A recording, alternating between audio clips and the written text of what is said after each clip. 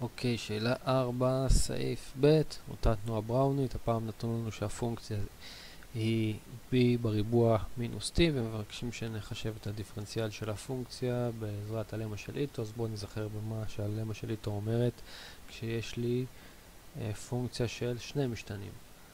אז הדיפרנציאל, סליחה, אז הדיפרנציאל של הפונקציה הזאת דיפרנציאל של פונקציה של שני משתנים הפעם אה, שווה, בואו קודם כל נרשום את זה, אז כמו מקודם יש לנו נגזרת לפי התנועה הבראונית כפול הדיפרנציאל של התנועה הבראונית ועוד חצי כפול הנגזרת השנייה לפי התנועה הבראונית כפול, אמרנו ש-db בריבוע הופך להיות dt אה, ועוד הנגזרת הראשונה לפי, אה, לפי t כפול dt. אה, ואפשר קצת לסדר את זה, יש לנו כאן dt וכאן dt. תזכרו שנגזרת לפי t אנחנו עושים רק פעם אחת, כי אה, ברגע שיהיה לי dt, אם, אם אני אוסיף כאן עוד את האיבר השני, שהוא יהיה חצי כפול הנגזרת השנייה לפי t כפול dt בריבוע, dt בריבוע אה, שואף סופר מהר לאפס, ולכן זה בעצם יהיה אפס הביטוי הזה. אז uh, לפי t אנחנו גוזרים רק פעם אחת, אז בואו נסדר את זה. אז יש לי בעצם,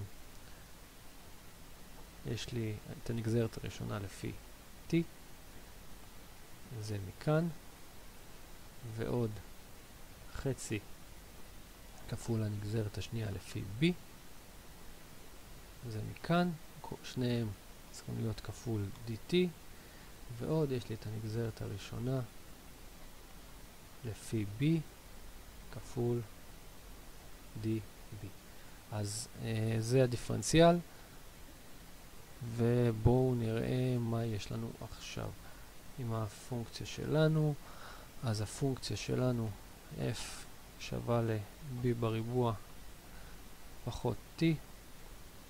הנגזרת הראשונה לפי b תהיה 2b, נגזרת שנייה לפי b תהיה 2, והנגזרת הראשונה לפי t תהיה מינוס 1. מה שנשאר זה להציב. אז הנגזרת, הדיפרנציאל, סליחה, של הפונקציה הזאת אה, יהיה ככה.